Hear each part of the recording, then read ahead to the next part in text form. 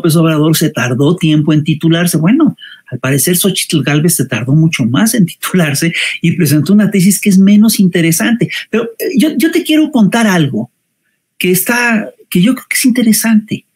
Fíjate que la derecha, nosotros solemos no ver lo que son los pleitos internos de la derecha, es decir, todo el mundo dice la izquierda siempre se pelea y tiene fracciones y facciones y grupos antagónicos. En la derecha pasa exactamente lo mismo. Y uno de los problemas que está teniendo ahorita el Frente Amplio con Xochitl Galvez, además de que ella se les está desmoronando y desinflando, es que este, pues hay un sector de la derecha radical que no está de acuerdo en que ella sea la candidata. Ese sector es el sector que está en contra de la despenalización del aborto. Y es el sector que encabezan gentes como Verástegui, como Lili Telles, etcétera. Y este, entonces hay un conflicto ahí con este sector de la derecha. ¿Cómo lo va a resolver? ¿Sí? El Partido de Acción Nacional, el PRI y el PRD, ¿cómo van a resolver ese conflicto?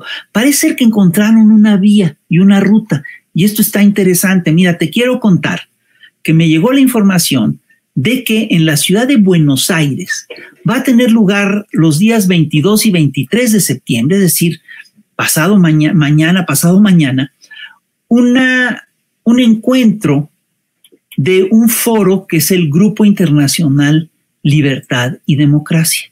Este es un think tank de la derecha latinoamericana. Sí, hay que ver si está ligado al Atlas Networks, mi impresión es que sí, es posible que tenga vínculos con, eh, con que es un Alejandro Chuafén, que es un derechista argentino muy connotado. Y en este simposio se van a presentar varios expresidentes, muchas de las figuras importantes de la derecha latinoamericana, entre ellas varios expresidentes. Son cuatro foros.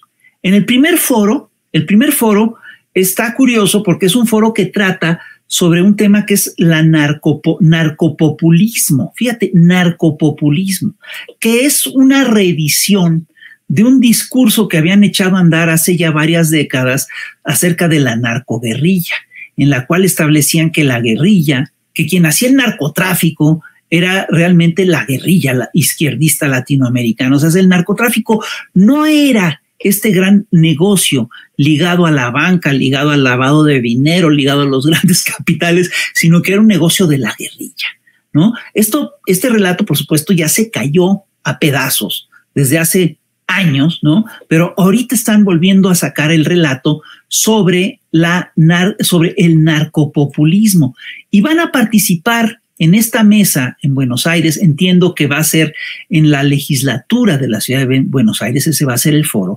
En esta mesa van a participar Mauricio Macri, expresidente de Argentina, Sebastián Piñera, expresidente de Chile, y la candidata presidencial Patricia Bullrich de Argentina. Y este, eh, no, perdón, eh, eh, ahí van a participar Guillermo Lazo, Iván Duque, va a participar Mariano Rajoy, y va a participar Vicente Fox. Fíjate, qué interesante. Va un mexicano. El segundo panel, y, por esto te toco el, te, te lo saco a colación, versa sobre cómo combatir al populismo cultural y cómo fortalecer una narrativa de libertad. En este panel van a participar gentes como María Corina Machado, que es una venezolana patrocinada por la Networks, Andrés Pastrana, que es expresidente de Colombia, y va a participar Xochitl Galvez. Está anunciada Xochitl Galvez en este foro. Fíjate no, que no te lo puedo creer. Sí, sí, sí, sí. Es, que me, imagino que se van a llevar una, una sorpresa muy desagradable en este foro de la ultraderecha en Argentina. ¿eh? Mira, pero es que todo es una sorpresa desagradable en este foro. En, la en, la, en el cuarto panel eh, es eh, el cuarto panel es un, cuartel, un panel que se titula El combate al crimen organizado y el fortalecimiento de la seguridad ciudadana. ¿Y quién crees que está en este panel? Te doy tres. Y bueno, está Ricardo López Murphy de Argentina, va a estar este, ni más ni menos que el juez Moro, que es el que condenó injustamente a Lula, y el gran experto es ni más ni menos que Felipe Calderón Hinojosa. No, es lo que decir, me, me, me, imaginé, me imaginé que iban a poner sí. al Borolas, porque es el que constantemente participa en estos foros de la ultraderecha. Así es. No, así no, es. no sorprende, pero sí indigna, ¿no? Que Pues, ya, él lo, lo, pudieron haber puesto, en todo caso, en esta parte de la, de, del combate al populismo cultural, ¿no? O sí, el, claro. Pero, pero que lo pongan en, en, en temas de narcotráfico, a este narco a ver, en pantalla. Es el señor que puso al frente de la seguridad nacional ni más ni menos que a Genaro García Luna, que hoy está preso en Estados Unidos por vínculos con el cártel de Sinaloa. Estamos hablando de una cosa muy seria. Bueno, así es como están posicionando a Xochitl Galvez y así es como están tratando de lijar asperezas con la extrema derecha latinoamericana por lo pronto y por lo tanto van a tratar de hacer lo mismo con la extrema derecha mexicana. Entonces, lo que te estoy, es decir, esto es, es información que fue recogida de este a través de diversos medios de comunicación de la región. Y te digo, es este grupo que se llama Libertad y Democracia, que agrupa sobre todo a mandatarios, altas figuras de la derecha latinoamericana, ¿no?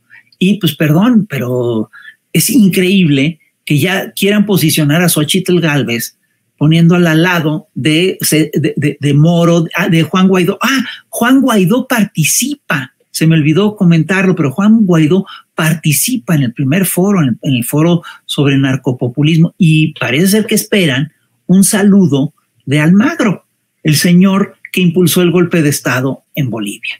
A mí me parece fantástico y lo que me queda claro es que ya quedaron bien delineados los campos. Aquí lo que tenemos enfrente es una disyuntiva. O se profundiza la cuarta transformación o hay un regreso a las lógicas del neoliberalismo, es decir, del capitalismo salvaje, del saqueo, de la sobreexplotación de los trabajadores, de los negocios corruptos, etcétera. Y entonces, en esta, el tipo de personaje, a mí, a mí me parece que, que hicieron bien en poner a Xochitl Gálvez, es una muy buena candidata para ese proyecto. Están construyendo una marca, están construyendo una imagen y para eso no han dudado en echar mano de la inteligencia artificial. Yo sí creo que Xochitl plagió su, plagió su reporte de actividades con el que se tituló porque todavía no existía la inteligencia artificial, pero hoy está haciendo campaña con inteligencia artificial y me parece paradigmático de lo que es ella este tuit extraordinario que se publicó, que ella